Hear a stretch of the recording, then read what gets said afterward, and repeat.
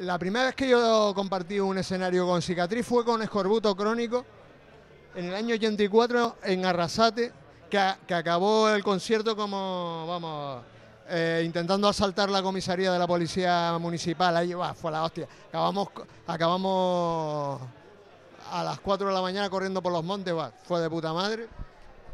Fue un conciertazo. La segunda vez fue bastantes años después en la Rabechu, en las fiestas en Vizcaya, en las fiestas del pueblo. Que, con, que eso, ya ellos habían alcanzado un nivel bastante potente en cuanto a ventas, tal y cual. Y, y una cosa que me impactó un montón fue el declive de Nacho, el cantante.